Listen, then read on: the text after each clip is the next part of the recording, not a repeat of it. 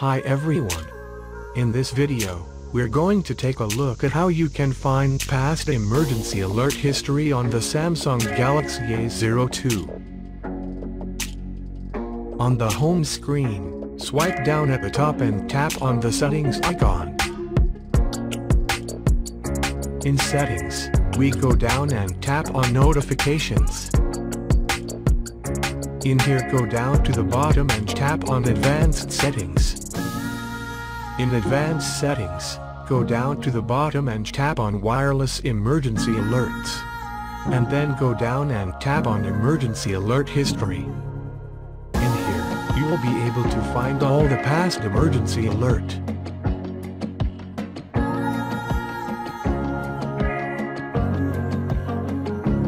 Thank you for watching this video. Please subscribe to my channel for more videos.